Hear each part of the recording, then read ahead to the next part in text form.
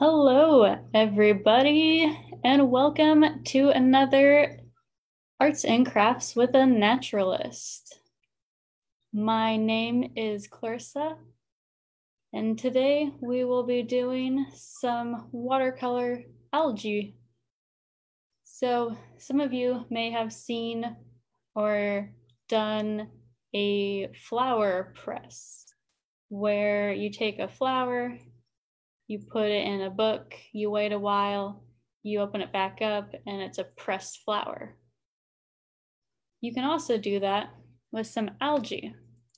And since that kind of takes a while and you need some cloth and some cardboard, I decided I would just paint the algae to look like it's pressed on the paper.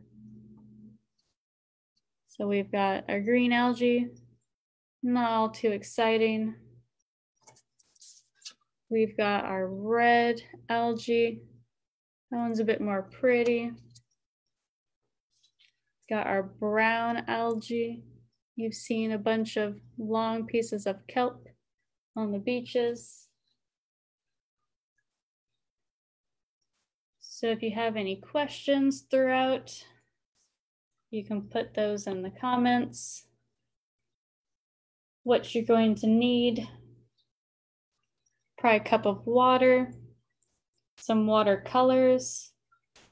Watercolor paper works best for absorbing water, but if you don't have that, that's fine. May not look as good, but you'll still have fun, hopefully. Along with the watercolors, they'll do the best. But if you don't have watercolors, you can still paint some algae.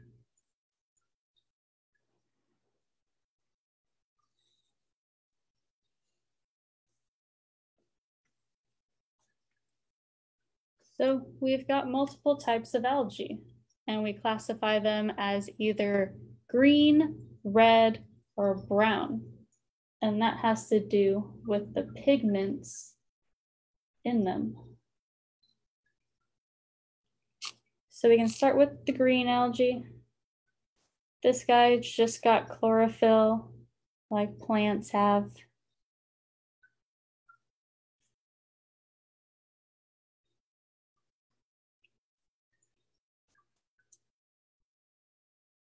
Green algae are not too exciting.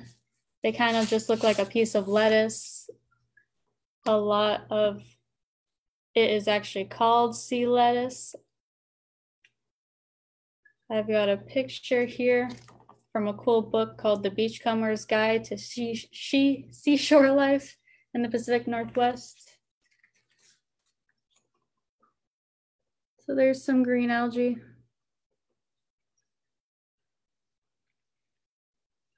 Kind of just looks like some lettuce.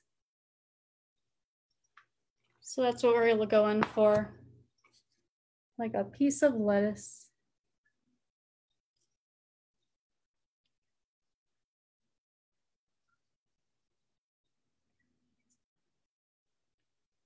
If you actually want to do some algae presses, you can look that up online and make sure that you only harvest clean seaweeds for our not clean seaweeds, but clean seaweeds from clean waters.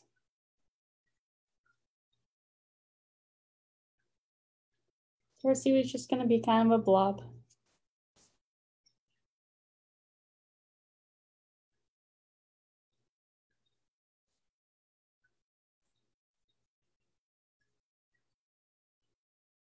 Green seaweeds are thin, they're roughly only about one cell thick. So they are really good for pressing.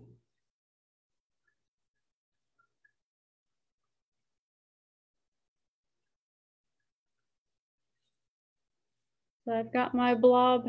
I decided I'm gonna put a hole in this one because these guys are kind of fragile, so they'll usually get tears in them.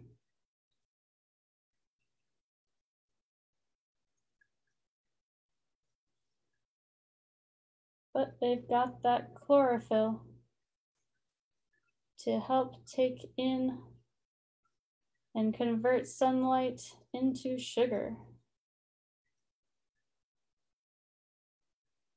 And then use those sugars to build up their cells, which then get grazed on by a bunch of animals that live in the water.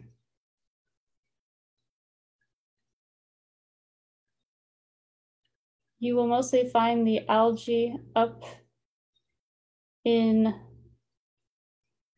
near the beaches because that's where they're going to find substrate to hang on to and get enough light to photosynthesize. And so a lot of creatures that eat them are like snails that live up in the shore. You've also got crabs. They really like to eat.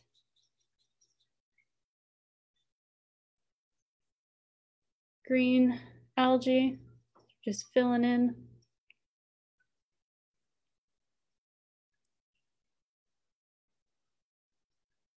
Another creature that really likes green algae are limpets. Limpets are pretty cool. They will actually only eat a certain part around the algae to make sure that they leave some for future if they want to snack on it later.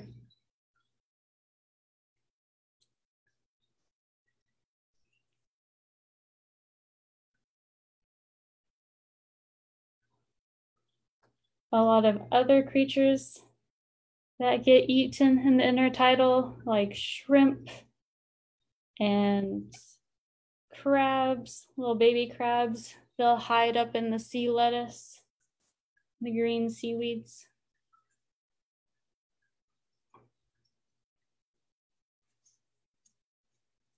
There we go, filling it in.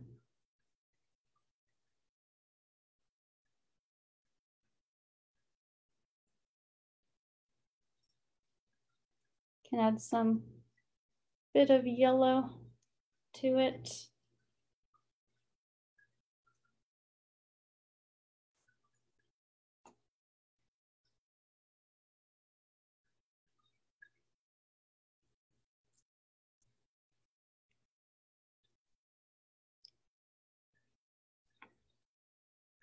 If you're ever out on the beach and you see some sea lettuce, I wouldn't recommend picking it up and eating it, but you definitely can if it's clean. Make sure there's no other organisms living on that sea lettuce.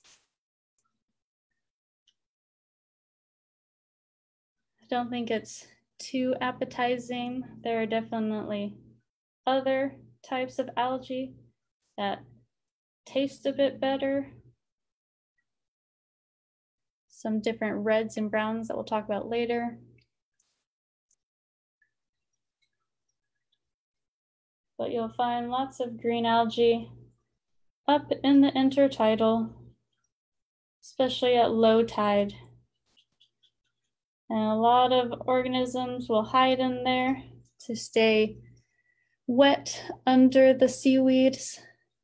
And they can also then lay their eggs on those seaweeds. Some really adorable sea slugs called nudibranchs will lay their eggs there.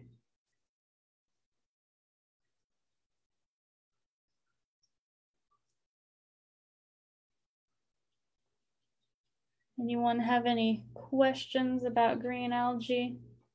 We're just going for kind of a blob I put a hole in mine because they kind of tear easily. Gives it a bit more excitement.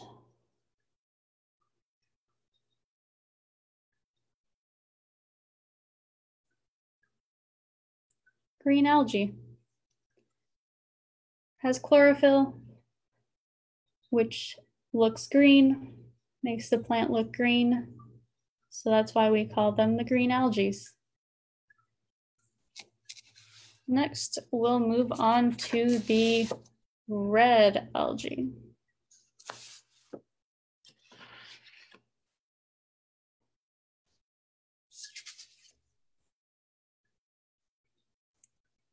Piece of red algae that I painted earlier. Here's another type of red algae. They're usually a lot more branched. But if you've ever seen like a pink coral looking crust on a rock, that is actually a red algae as well.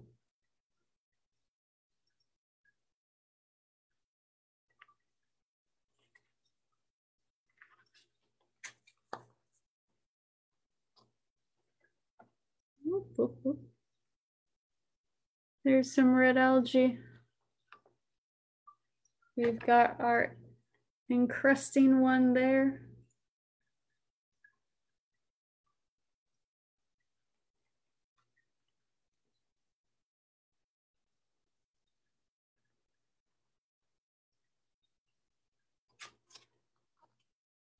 Some filament type there.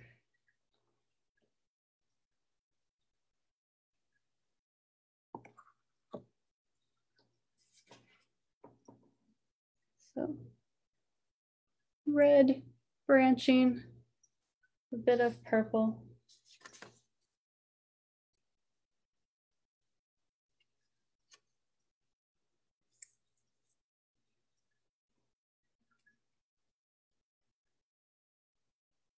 What's cool about red algae is that it actually is what nori or the seaweed that you use to make um, sushi or anything wrapped in a seaweed is nori or porphyra, and it is a red algae. So while you can use green algae to make like a salad out of the sea lettuce, or use sea noodles, which is another type, uh, red algae is where it's at. You get that, that seaweed wrap on your sushi or any other form of wrapped item. I just like sushi. I don't know too much else than that. So for red algae, they also contain chlorophyll, but they have a different pigment and that makes them red.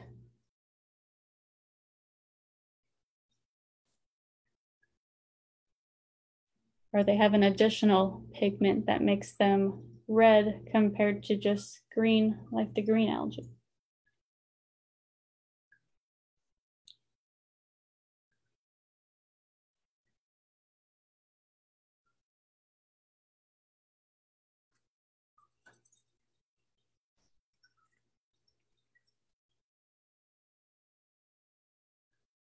If you are just joining us, welcome to Arts and Crafts with a Naturalist.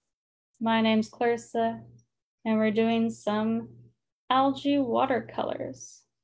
Similar to like if you pressed algae with some cloth and paper towel or cardboard, you can get all the water out and it makes a nice little print on a sheet of paper but that's too much effort to do via Zoom. So we're just doing some paintings, doing some red algae, going to make it like that.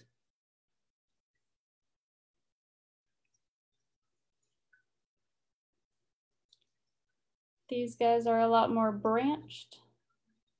And because of that extra pigments, rather than just the green algae. It allows them to live deeper down in the water column. So, well, you might see a lot of green algae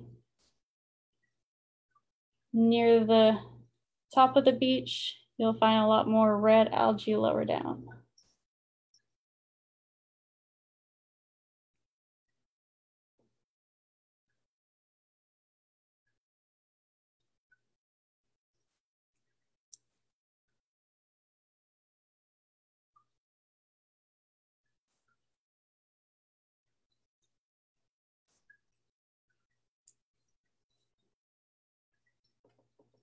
Making it branched, allowing it to obtain more light by having those different branches.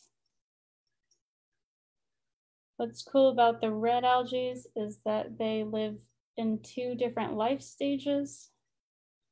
So they kind of live part of their life as reproductive structures and other parts of their life as just single cells.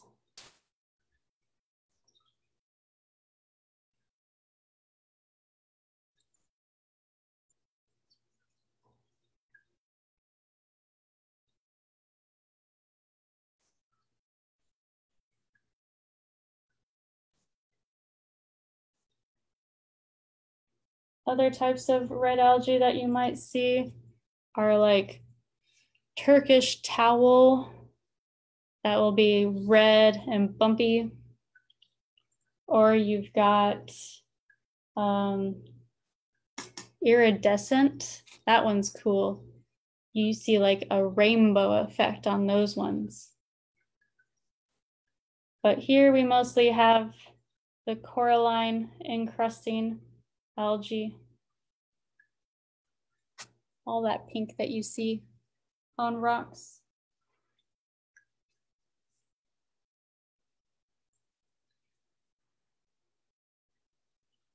Red algae.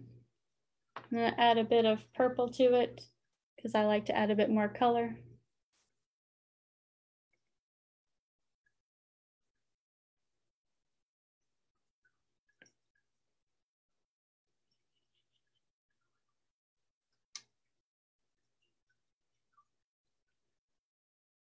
Anyone have any questions about red algae?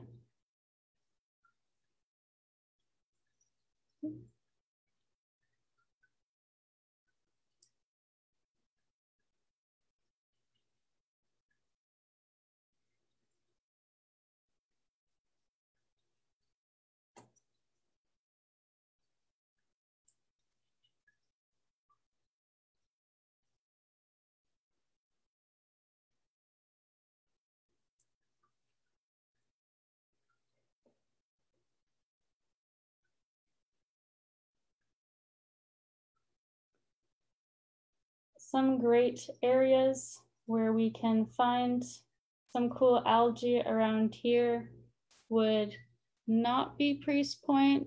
That's kind of a bit muddy for the seaweeds, whereas Burfoot and Tolmie are a bit more rocky. And so those ones will be your best bets to find seaweed.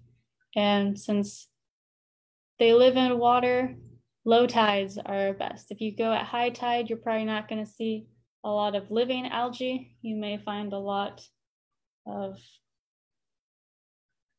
algae that has broken off, been torn. And so you'll find those ones up on the beach all drying out. So if you're doing algae presses, you want the algae to be wet first and then you're drying it rather than finding the dry algae on the beach. So now I'm going to do the brown algae. Usually the biggest ones you'll see. So if you see the giant bull kelps, they've got a long stalk with a bulb on the end, and then their fronds come out or sugar kelp, which will be kind of like that one. It may be a bit wavy inside.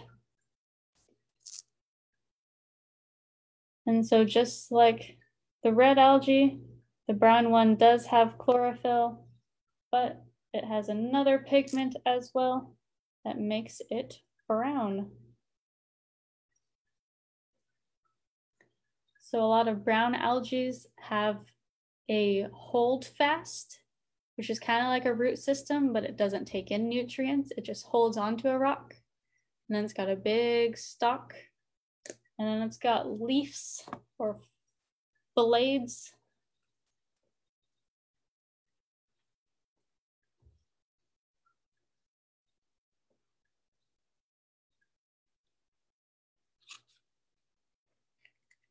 Not the best photos of brown algae.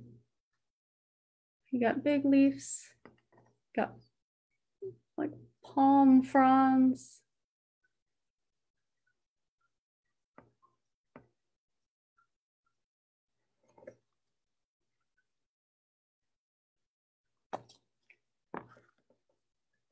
A real common brown algae that we have around here is fucus. And if you've seen, it's kind of like little brown fingers and they've got little bulbs on the end and that's like an air sac that helps them float. So gonna make a hold fast to hold my brown algae down.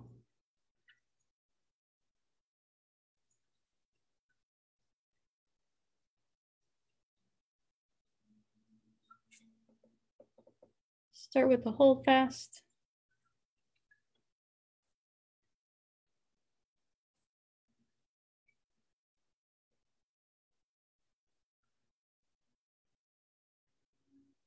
Brown algae is one of the fastest growing.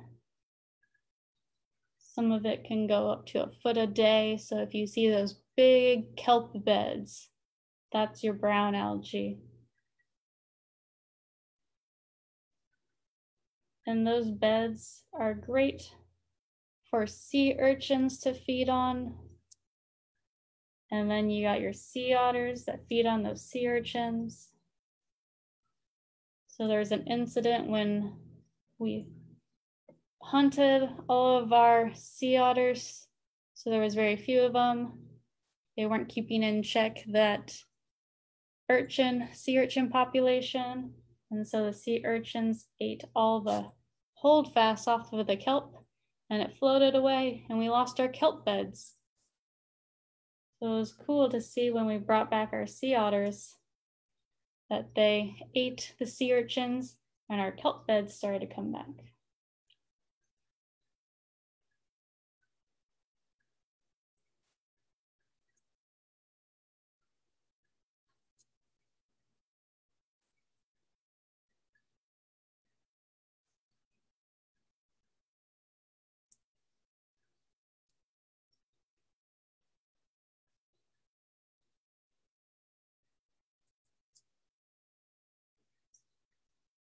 I've also seen ads for kelp pickles. So they take that long stem off of the seaweed and they cut it up and they pickle it. I haven't tried them, but I'm curious.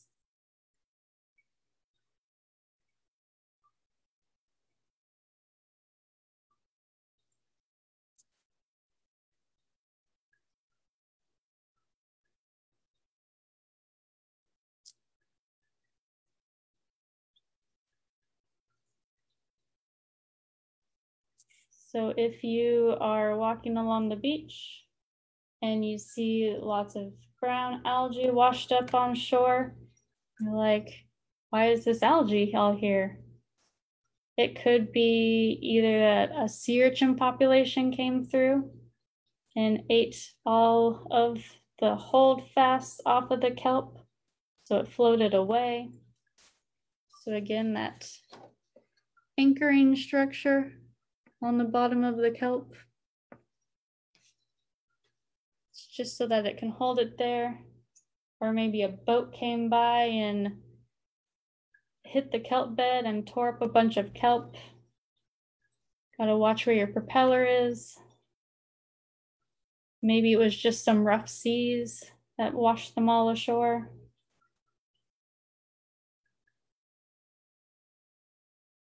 But they are only seasonal. You won't find them in the wintertime. They come out in the spring. That's when all the light is there for them to take in.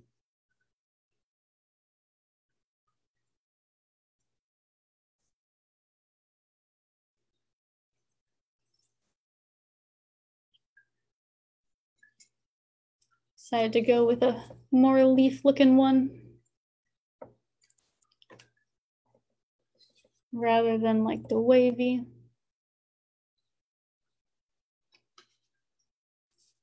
We could do like the bull kelp with the fronds coming off.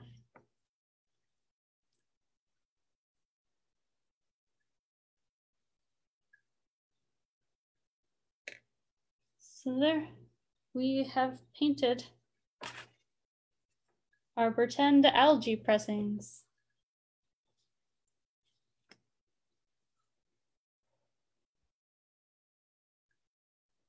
Red algae, it's got chlorophyll and other photosynthetic pigments in it that make it red. Green algae just has the chlorophyll Brown algae has chlorophyll, but it also contains other pigments that make it look brown. I hope you enjoyed that. If you want to see some actual algae, come out this weekend to meet the beach. I will be there. We are open at Burfoot and Priest Point We'll have naturalists out there. We'll be wearing green vests if you want to go spot us and ask us about the different algae that live around here. Or if you're more interested in all the crabs that we found some of the fish that we found underneath the rocks at Burfoot. Pretty cool stuff out there at the beaches. That's why we want to be out there to show you. So come visit us. That's this Saturday and Sunday, the 18th and 19th, Burfoot and Priest Point. We'd love to have you. We are opening up. We had a soft opening. We're going to have a bigger opening later on. So we can come, you can come visit us at the estuarium in downtown Olympia. If you have any more questions about anything that you see at the beaches that you didn't get to ask me today or that you came up with later while this wasn't a live video, we do have the Ask a Naturalist Facebook page where you can ask any question you have. We've got a bunch of very dedicated staff members working on that and volunteers to answer those questions. I think that is all I have for today. I hope you enjoyed Arts and Crafts with a Naturalist. Have a good day, everyone.